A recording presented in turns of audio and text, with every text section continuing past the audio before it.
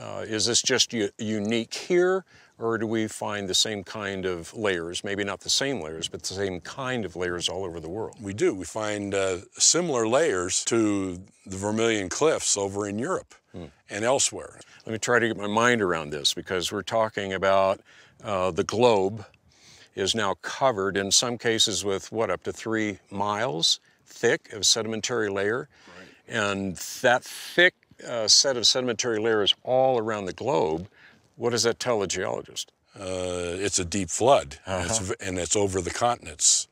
And um, that is uh, uh, something completely extraordinary, okay? But, you know, the story we were told is that the ocean uh, advanced and retreated over the North American continent 17 different times yeah, to make the 15,000 feet of strata that we see right here in the uh, grand staircase. Is that is that the continent rising and sinking? Is that how that It happened? could be the continent rising or sinking and the ocean floor uh, deepening and, and whatever.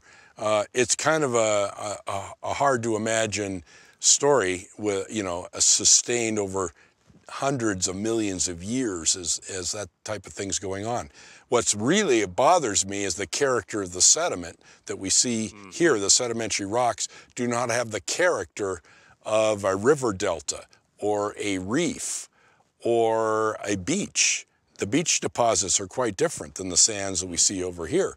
And so things just look different. And uh, that story of the calm and placid sea is kind of junk food for my brain it doesn't work in explaining rock.